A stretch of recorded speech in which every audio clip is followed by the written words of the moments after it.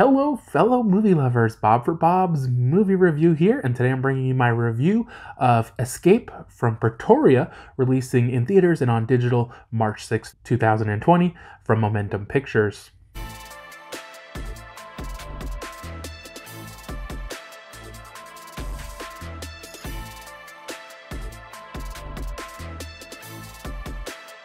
Now, this one was provided to me free for review. It is rated PG 13, has an hour and 46 minute runtime, and it is a thriller.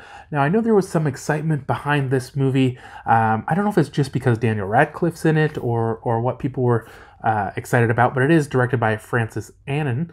And like I said, it does star Daniel Radcliffe, Ian Hart, and Daniel Webber. Now, the beginning of this movie to me, uh, just having a lack of knowledge on the history. I had a little trouble following exactly what's going on. Uh, I didn't mention this yet, but this movie is based on a true story in uh, about these guys who are fighting for equal rights in South Africa. Now, I believe this took place in the 60s.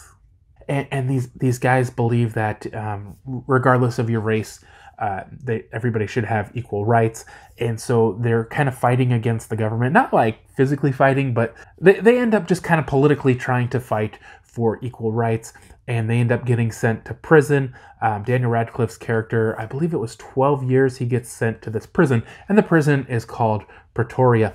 Now, honestly, other than just the very beginning part, uh, it doesn't really have much to do with um, this kind of civil rights battle or the the issues in South Africa at the time. From there on, it basically becomes an escape movie uh, where where these guys, basically, the moment they get there, they come up with uh, that they're going to escape, and they kind of come up with this plan and you know they're, they're planning everything out how they're going to get here what time. You know you guys know how these escape movies go. Um, you know i thought it was really interesting. I definitely think they came up with some really good ideas on how to get out of this prison. It does have a lot of real good edge of your seat suspenseful moments where you know you're like are they going to get caught or not? You know?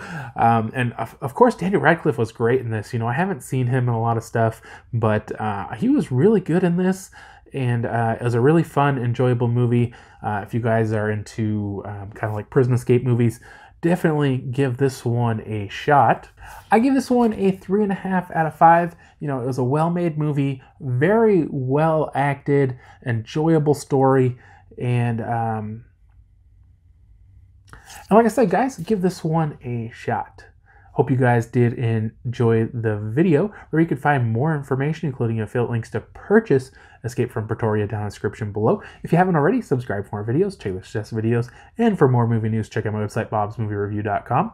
And I'll see you guys next time.